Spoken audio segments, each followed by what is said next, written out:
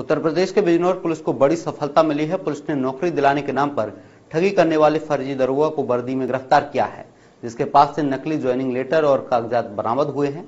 आपको बता दें, आरोपी नौकरी के नाम पर झांसा देकर अब तक दर्जनों लोगों को ठग चुका है और उनसे लाखों रुपए की ठगी कर चुका है। केवल इतना ही नहीं, आरोपी लोगों को फर्जी ज्वाइनिंग लेटर भी देता था, ताकि लोग उस पर शक न करें। फ़िलहाल ठग से पूछताछ जारी है।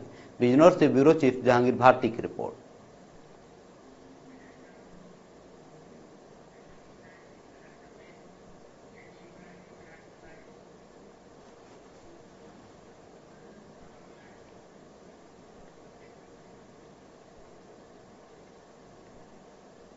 कल कोतवाली नगर पुलिस ने इसकी गिरफ्तारी की, जिसने की फर्जी पुलिस उप निरीक्षक की वर्दी पहनी हुई थी।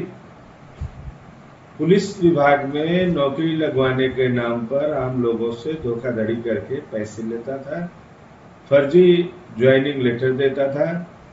दो लोगों को ज्वाइनिंग लेटर कल देने आया था, जिस सूचना पर पुलिस ने इसकी गिरफ्तारी की।